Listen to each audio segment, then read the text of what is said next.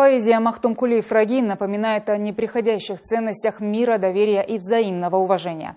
Касым Жомар Тукаев выступил на международном форуме в Туркменистане. Взаимосвязь времен и цивилизации – основа мира и развития, приуроченном к 300-летию великого поэта. Почему его наследие спустя столько лет до сих пор не потеряло своей актуальности? Об этом расскажут мои коллеги.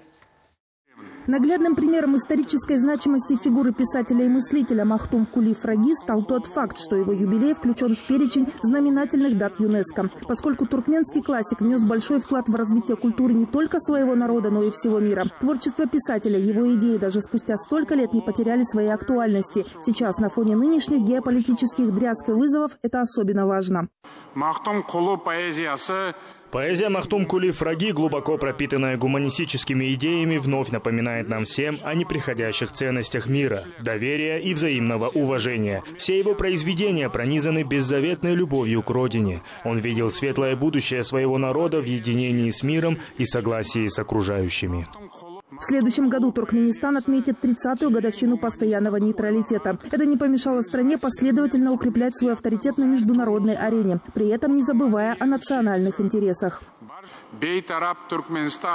Нейтральный Туркменистан вносит весомую лепту в укрепление безопасности и стабильности в мире, продвижение разнопланового сотрудничества в Центральной Азии и Каспийском регионе. По инициативе Туркменистана Генеральная ассамблея ООН объявила 2025 год Международным годом мира и доверия. Успехи вашей страны стали наглядным примером исполнения заветной мечты Махтум Кули Фраги о создании сильного туркменского государства.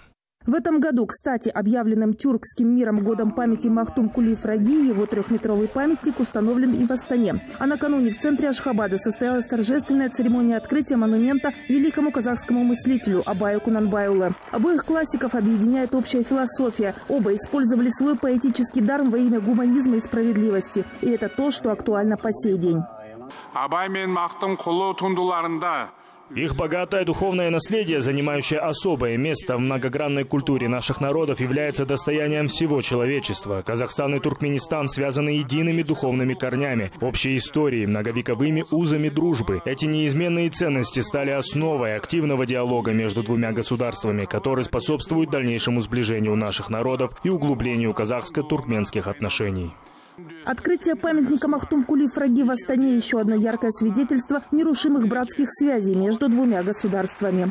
Ольга Литвина, Анна Рассульбаева, Астана Таймс.